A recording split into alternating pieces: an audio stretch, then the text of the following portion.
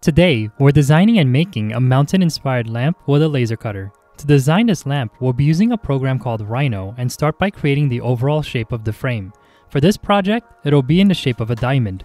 To get the shape, I draw a rectangle that's 6 inches deep by 8 inches wide and draw a series of polylines connecting the center points of the rectangle. This helps me ensure that the opening will be wide enough for my hand to fit inside and for a light bulb to be installed. When the overall frame was complete, I drew a slot at a quarter inch deep by an eighth inch wide and decided to cut it at an angle into the frame. This will hold each vertical panel at an angle to reflect the light and create a warm glow from the natural color of the walnut plywood that we're using for this project.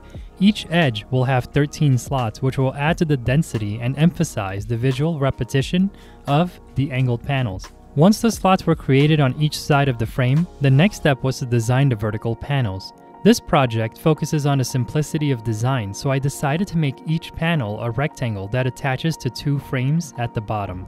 The first piece would be roughly 4 inches tall, and the following ones will grow by a quarter of an inch at the top. The design will be mirrored across the center of the width of the frame, so two sets of the panels will need to be cut and installed. With the panels designed, the last component of this project is the frame that holds the light fixture base and bulb.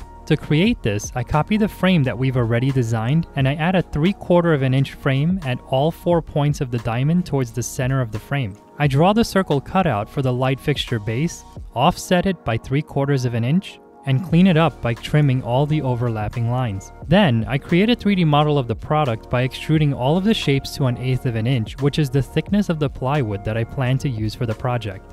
I rotate the panels so that they're vertical in the 3D view, and I move each one into place. As I'm building the model, I also refine the design of the product whenever I see an opportunity to improve it or if I discover that there's an error. It's better to fix everything now to save time later in the build.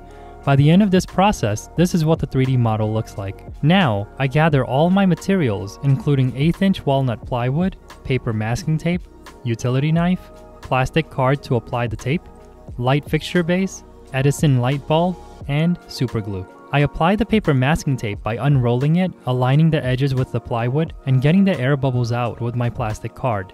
This will help protect the plywood from scorches, burns, and debris from the laser. I load up my Glowforge laser cutter, insert the walnut plywood, set up my file in the online interface, and start the process of laser cutting. Now that I've started making lamps with my laser cutter again, I'm remembering how much I enjoy the process because coming up with the unique shapes and designs are helpful for thinking about how they relate to architecture projects that I'm currently designing. I like to think of these unique lamps as being a smaller scale version of a building or a component of one, it's also fun to think about the different ways these pieces can come together to create a three-dimensional product. I'm also excited to use an Edison bulb, which is the first time I've ever purchased and used one for any of my projects. I love the idea of having a light fixture where the bulb is part of the visual aesthetic of the overall product. If you're interested in purchasing a Glowforge laser cutter for yourself, I'll share a link in the description section of this video that'll get you up to $500 off of a Glowforge Pro. With all of the pieces cut, I use blue painter's tape to hold all the pieces together as I transfer the sheet to my work table. Then, I remove all of the paper masking tape while keeping the panels together so that they don't get mixed up.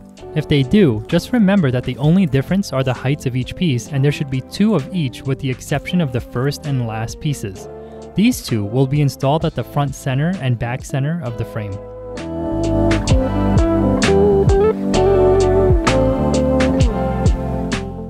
Using a lint-free cloth, I apply a natural oil finish to the surface of the panels and frames. It's easier and quicker to do this step now instead of waiting until the entire piece is assembled.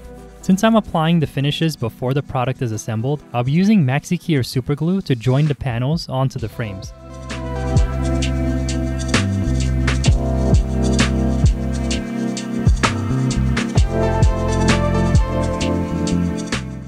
To assemble this mountain-inspired lampshade, I keep the panels organized in two separate areas, take the first and smallest piece as well as the last and longest one, apply superglue to the joints, and install them onto both frames. Since they're on opposite sides, they'll hold the frames and help with installing all of the remaining panels.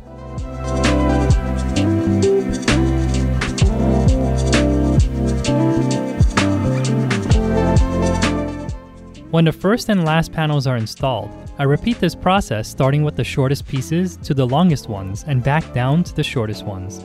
This makes the installation easy because we're just working our way around the entire frame.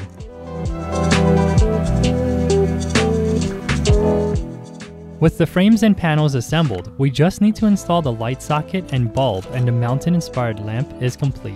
I love the simple aesthetic of this light fixture and the warm glow from the light emanating from the Edison bulb reflecting off of the surface of the walnut plywood. This project gave me an idea for architecture designs that I can't wait to try.